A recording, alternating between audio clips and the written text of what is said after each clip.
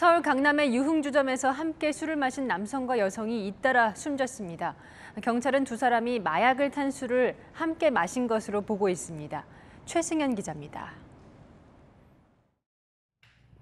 경사진 도로를 올라가는 검은색 SUV 차량. 방향을 잃은 듯 멈춰서더니 좁은 산책로로 진입합니다.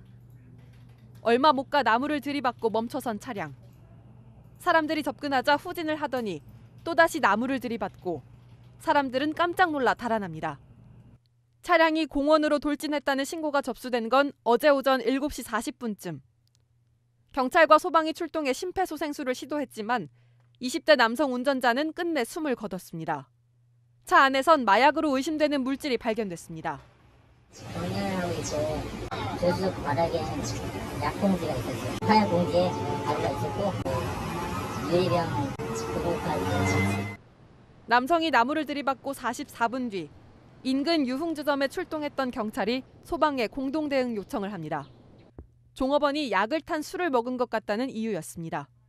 하지만 종업원은 병원 이송을 거부했고 2시간쯤 뒤 자택에서 심정지 상태로 발견됐습니다.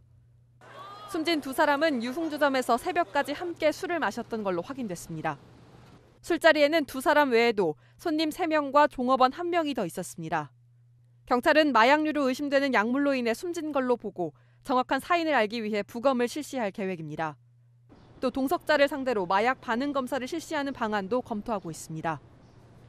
채널A 뉴스 최승현입니다.